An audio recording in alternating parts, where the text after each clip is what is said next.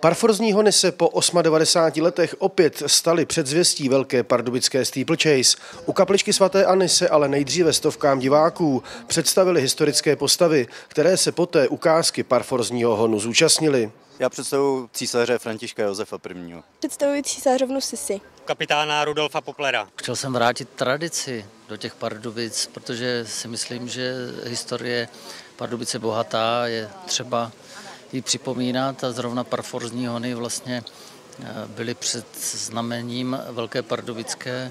Lišku nakonec ulovil představitel kapitána Rudolfa Poplera, po němž je na závodišti pojmenována i jedna z překážek. Doufám, že se zase do Pardubice, do tohohle kraje někdy parforzní hony vrátěj. Chce to jenom nadšence, který to zorganizuje. A to si určitě přáli všichni, kteří ukázku pod Vinicí schlédli.